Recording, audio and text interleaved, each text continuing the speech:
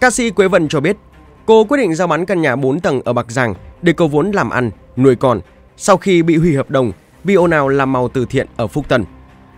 Có bao nhiêu của cải, tôi cũng bán hết để gom tiền xây nhà với mong muốn an cư rồi kiếm việc gì đó làm, sống an phận với các con ở quê. Nhưng cuộc đời không như mơ.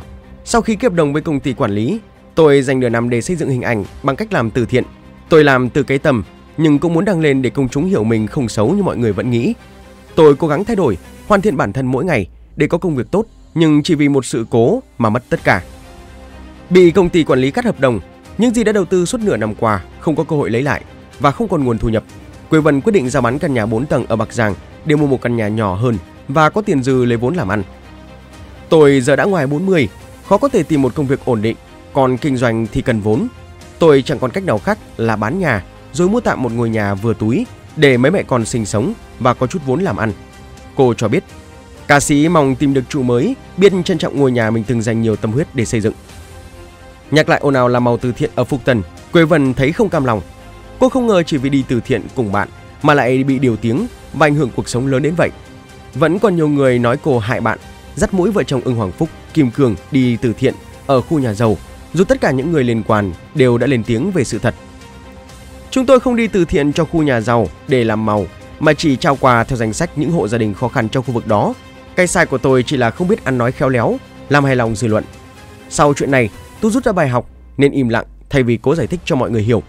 Quế Vân nói, tối ngày 10 tháng 10, cựu người mẫu ca sĩ này lại có buổi livestream để nói rõ về những ồn ào làm từ thiện cùng vợ chồng ưng Hoàng Phúc, Kim Cường trong đợt bão Yagi vừa qua. Bên cạnh việc đưa ra những chứng cứ để minh oan cho mình và vợ chồng ưng Hoàng Phúc khẳng định không phung bạt, không làm màu từ thiện, Quê Vân bật khóc khi tiết lộ vừa mất việc do nào này gây ra. Cụ thể trong livestream, Quê Vân nói: Sau một tháng phải nhịn để lấy lại tinh thần, hôm nay tôi lên đây nói chuyện với mọi người.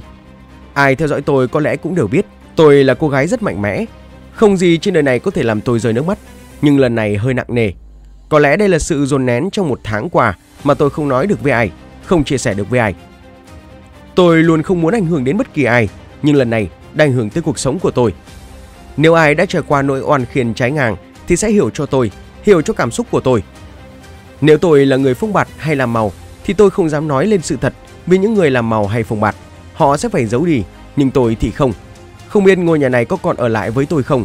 Giờ tôi sẽ cố gắng bình tĩnh để nói một lần cho mọi người rõ. Quá khứ ai cũng có sai lầm, nhưng dần dần chúng ta sẽ phải thay đổi để tốt hơn. Trong quá trình làm nghệ thuật của mình, có quá nhiều điều cho tôi bài học kinh nghiệm để rút ra trong cuộc sống. Khi tôi quyết định về Bạc Giang để sinh sống là tôi chọn bình yên, không tạo ra điều gì ồn ào nữa. Tôi đã bán tất cả tài sản, dồn hết tiền về đây xây nhà. Sau khi xây nhà xong thì tôi tìm được một công việc rất tốt, phù hợp với mình. Trước kia mình chỉ đi diễn rồi nhận cát xê về tiêu. Còn bảo mình ra đời làm ăn thì tôi không biết làm cái gì. 6 tháng trước, tôi được ký kết với một công ty truyền thông của nước ngoài. Họ xây dựng hình ảnh cho tôi. Một là chọn phong cách nuôi dạy con, truyền kinh nghiệm cho mọi người. Hai là làm thiện nguyện, lao vào những khó khăn để giúp mọi người. Tôi chọn làm thiện nguyện. Từ xưa tôi đã muốn giúp mọi người nhưng không có khả năng. Giờ có công ty hỗ trợ, mình xây dựng hình ảnh theo hướng đó thì quá tốt. 6 tháng qua, tôi đã đi rất nhiều nơi, gặp rất nhiều hoàn cảnh, gặp những người mắc bệnh truyền nhiễm nhưng tôi không sợ. Tôi vẫn chọn đến thăm mọi người và mỗi lần đến, tôi vẫn dùng hết tấm lòng của mình để giúp đỡ, lan tỏa. Mọi người bảo, tại sao phải quay và up lên mạng? Mỗi người có cách khác nhau. Tiền mình ít nhưng có sức ảnh hưởng trên mạng xã hội để lan tỏa nên tôi cần ghi lại những nơi mình đi để mọi người biết. Những nơi tôi đi đều gắn rõ địa chỉ để mọi người biết và tới giúp đỡ. Chỉ cần vài ngày nữa là tôi sẽ chính thức bắt tay vào việc vì 6 tháng qua tôi đã làm những việc rất tốt rồi. Nhưng chỉ vì một chuyến đi với bạn của mình mà tôi mất tất cả. Người đổi đổi cho tôi nhiều nỗi oan trái. Công ty của nước ngoài không giống Việt Nam. Người ta thấy cả nước chửi như này, họ nghĩ tôi sẽ không làm được gì cho công ty nữa nên họ đã hủy hợp đồng của tôi. Đây là hợp đồng tôi đã ký hồi tháng 5. Lúc lăn tay, tôi đã rất vui vì tìm được công việc hợp với mình.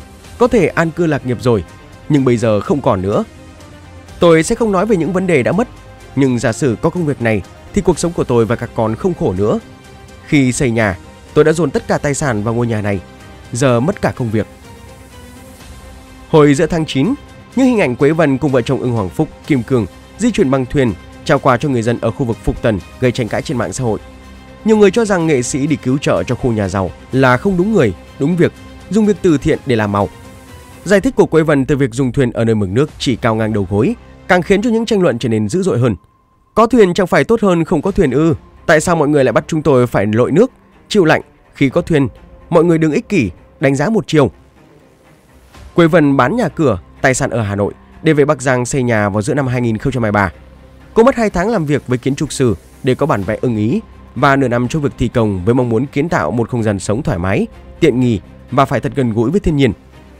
Cơ người này vốn có 4 tầng với tổng diện tích sử dụng khoảng 330 m2, được trang bị thang máy, nội thất sang trọng và tiện nghi như khách sạn. Thời điểm hoàn thiện nhà, Quế Vân cho biết cô bỏ ra khoảng 11 tỷ đồng cho ngôi nhà, chủ yếu chi cho nội thất và các thiết bị hiện đại. Cô hướng đến sự tiện nghi, thoải mái cho ngôi nhà khi sử dụng thang máy, điều hòa âm trần, hệ thống phòng cháy chữa cháy, hệ thống smart home, điều khiển tự động và thông minh cho rèm, đèn điện, điều hòa ở tất cả các phòng. Tất cả phòng ngủ đều có ban công và cửa kính đón ánh sáng tự nhiên và có những khoảng xanh do cô tự chăm chút. Cô sống với mẹ, hai con trai nhỏ và thi thoảng đón con trai ở Hà Nội về chơi trong căn nhà này. Dưới phần bình luận, nhiều bạn bè, đồng nghiệp đã gửi lời động viên đến Quế Vân. Đáng chú ý, diễn viên Việt Anh, một người bạn thân của cô cũng lên tiếng khuyên. Sao phải bán? Bao công sức mới xây được. Bán giờ này chưa chắc đã xây lại được đâu. Cố gắng qua giai đoạn sóng gió sẽ ok. Ai cũng có những giai đoạn như vậy thôi. Cố gắng lên em. Khi Quế Vân than thở, em không còn gì nữa rồi. Việt Anh liền động viên. Sông có khúc, người có lúc mà, sẽ ổn thôi, đừng có nản. Quý vị nghĩ sao về câu chuyện này của Quế Vân? Hãy để lại ý kiến bên dưới video. Còn bây giờ xin chào và hẹn gặp lại.